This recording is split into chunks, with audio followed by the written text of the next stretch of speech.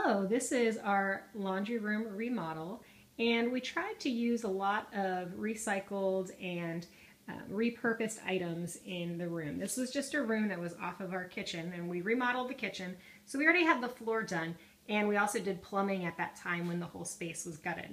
The rest of the room we bought a new faucet and we bought some base cabinets but that's really about it. The rest of it we did ourselves. The hardware was left over from our kitchen remodel the upper cabinets all came from my childhood home where I grew up and uh, my parents did a kitchen remodel so we took those and built the shelving in between.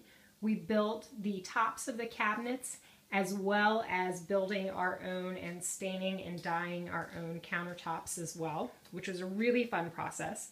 The sink was repurposed from the kitchen when we bought the house. The shelf and the mirror, one was repurposed from an old house that we have, and the shelf was a present years ago from my mother. And a lot of the decorations in the room are just things that I happen to have lying around and some family pieces and some different vintage pieces that I've collected over the years. We built the shelf.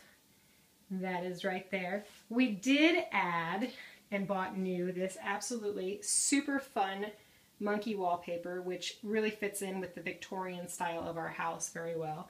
And we even have some artwork in here that was painted by my husband's grandmother. The chandelier above was repurposed from elsewhere in the house. It was in a room that was much too large. The scale wasn't quite right. So we repurposed the medallion from one room in the house and then the chandelier from another room in the house and even the crystals were repurposed from other chandelier pro projects as well. So all in all, there's our laundry room, and I hope you've enjoyed it.